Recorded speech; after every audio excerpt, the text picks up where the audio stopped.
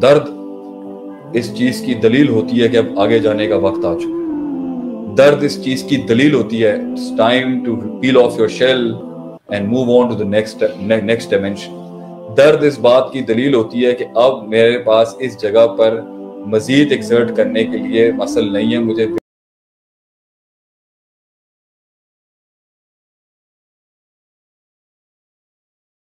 You never know एक आपकी हिकमत है एक उसकी हिकमत है। एक आपकी चाहत है एक उसकी चाहत है। Submit to the will of God जब आपने अपनी मैथ्स पूरी अप्लाई कर दी है it's time to move on उसमें पॉजिटिव रहें। अल्लाह ने हर इंसान सबके सब फौजी तो नहीं बनेंगे सबके साथ ताजिर तो नहीं बनेंगे? सबके सब सब जो है वो यू नो किसी अल्लाह ने निज़ाम चलाना है निज़ाम के अंदर लोगों ने फिट होना है और उसके थ्रू एक सिस्टम ने काम करना तो आपकी जगह बननी है इस कायनात के अंदर। वहाँ नहीं थी। कबूल करें अपनी चाहत को अपनी चाहत के मुताबिक रिजल्ट्स को अगर लेंगे तो डिप्रेशन ही होगा। अपनी हम्म। चाहत को डिवाइन के आगे आपको सबमिट करना पड़ेगा सुकून रहेगा इसके ऊपर और ये कबूल करना पड़ेगा कि ये चीज़ मेरे लिए नहीं नहीं जी ज़िंदगी ऐसी ही चलती है भाई। अच्छा नहीं भी करेंगे ना आगे हो जाएगी खुद ही कबूल।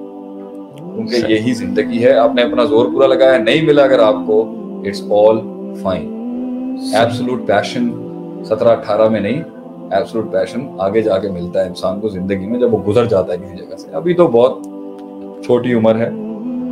इसके अंदर इश्क भी नए होते हैं। नफरत अभी बड़ी नाबालिग होती हैं। तो ये चलता रहता है। इसमें घबराने की ज़रूरत नहीं है। नेक्स्ट सही। ठीक है? अल्लाह ताला चले चलाए को खराब नहीं करता। जो चीज़ें चल रही होती हैं उसको मजीद हुसन की तरफ़ लेके जाता था प्रोवाइडेड कि आप उन एस्पेक्ट्स का ख्याल रखें जिसके तहत अल्लाह ताला आप आपने एक कायनात के कायनात की मैथ्स का ख्याल रखना आप उससे हट के जा रहे होंगे तो सौ हज़ार एतराजात हो सकते हैं ना। एक जगह पे अल्लाह आपको बाउंड करेगा कि आपने इस प्रोसीजर और एसओपी के तहत ही पहुँचना है वहाँ हम जिद लगा के बैठे हैं नहीं। हम्म। मैं अपनी मन चाही तरीके से आऊँगा मैं अपनी मर्ज़ी से आऊँगा। ऐसा नहीं होगा नहीं मिलेगा।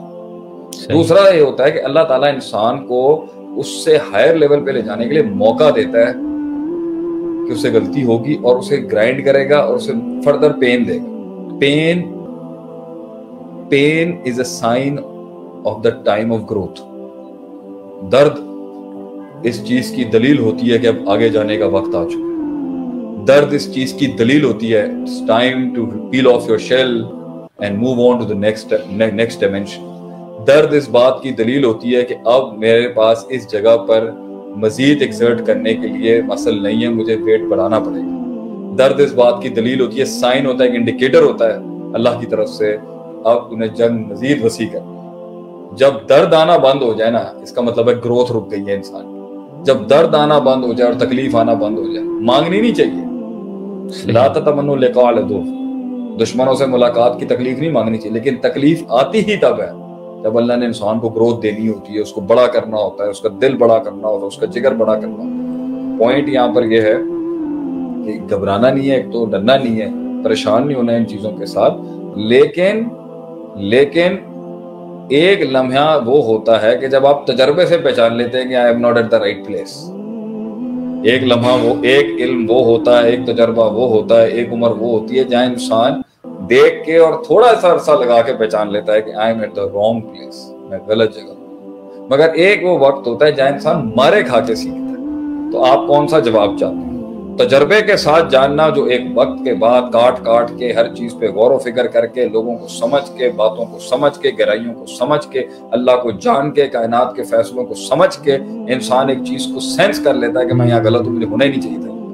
या एक वो उम्र है जहाँ इंसान पहुँच गया है, तजर्बा है नहीं, उम्र कच्ची है इश्क नाकाम नहीं हुए, लोगों को पहचाना नहीं है, मुनाफिक की पहचान और जो मुखालफिन की पहचान, दोस्तों की पहचान, सज्जन की पहचान, अपने नफ्स का मुहासबा, अपने अंदर की कमजोरियाँ, अपने स्वॉट analysis strength weaknesses opportunities threats को जानता ही नहीं है और उसके बाद किसी जगह पहुँच गया है।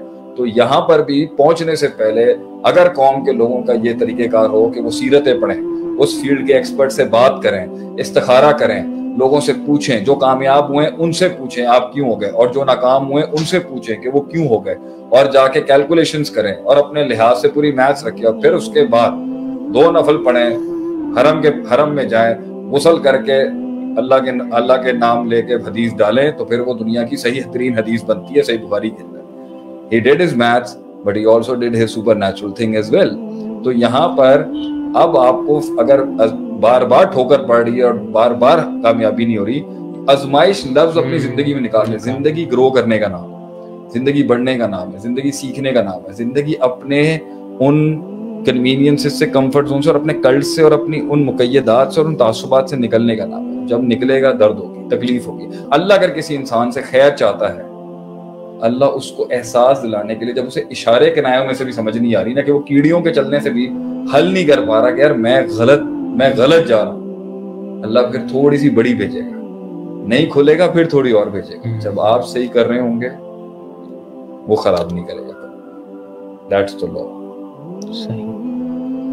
जब आप सही कर रहे होंगे और रोज ग्रो कर रहे होंगे और थक नहीं रहे होंगे और काहिल नहीं हो रहे होंगे अल्लाह आपको आप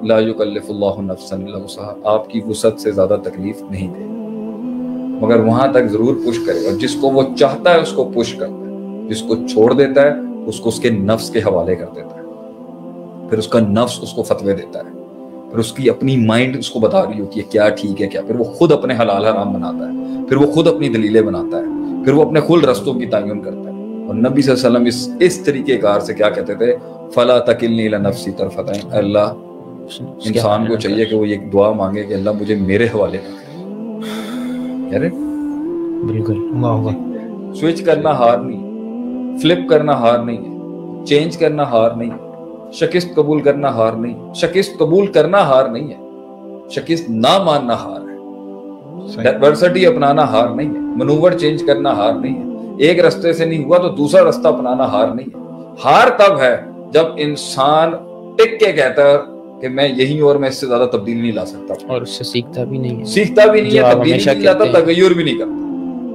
जब जब एक चीज़ नहीं हुई फिर जंगे बदर हुई फिर जंगे बहुत हुई फिर जंगे खंदक और चलता रहा मामला। ग्रो करते रहे मुसलमान ग्रो करते रहे। पॉइंट ये है कि जब आप कबूल नहीं करते जब आप गलती कबूल नहीं करते जब आप मशवरा कबूल नहीं करते जब वक्त का तकाजा कबूल नहीं करते जब आप खालिक के इशारे कबूल नहीं करते जब आप लोगों की तनकीद कबूल नहीं करते और शायद ताइद भी कबूल नहीं करते, जब आप कुछ कबूल ही नहीं करते और आप वहाँ पर पत्थर के हो जाते हैं और कहते हैं कि मैं यही हूँ और इससे ज़्यादा मैं नहीं दे सकता, मैं अपने अंदर किसी किस्म का तगैर नहीं लेके आऊँगा एब्सोलूट हो जाते हैं वहाँ पर।